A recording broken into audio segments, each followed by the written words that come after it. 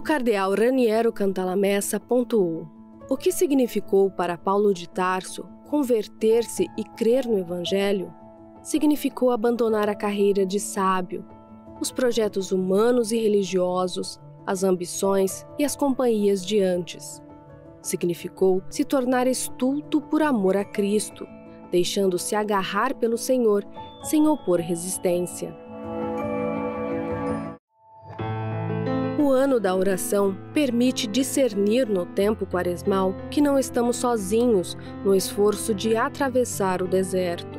Cristo vem conosco na jornada para lutar contra o mal que está dentro do nosso interior.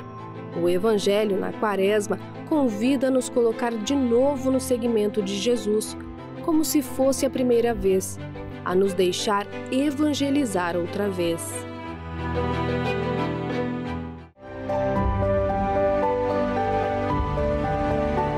Senhor, não age conosco segundo nossos pecados e não retribui segundo nossos pecados.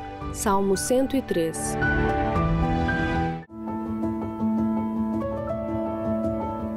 A oração é uma espécie de pauta musical, onde colocamos a melodia da nossa vida.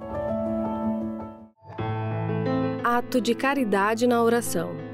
Eu vos amo, ó meu Deus, de todo o meu coração e sobre todas as coisas porque sois infinitamente amável e bom, e antes quero perder tudo de que vos ofender.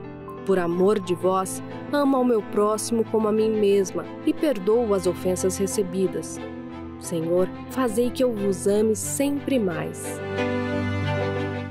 Rede Vida, a boa notícia faz bem todo dia.